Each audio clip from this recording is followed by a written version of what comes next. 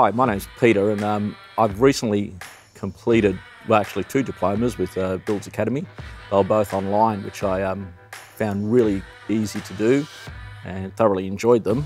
The surprising thing for me was with the diploma, I initially thought it was going to be the real basics of construction, framing, um, how the house gets put together, but surprisingly it was really none of that. It, it's more how to effectively run a successful business and a lot of it is teaching you how to research information, how to find, how to solve problems. Construction is such a dynamic format that it's forever changing and you need to keep up to date with, with regulations and, um, and methods and systems and doing the diploma was certainly an eye-opening from that sense. It allows you to follow that path of becoming a registered building practitioner and with a DBU and what that will do is um, remove yourself from more of the day-to-day -day construction and on the tools to more of the management side and I think that's what the diploma does that's what Builders Academy teaches you is how to effectively run the business.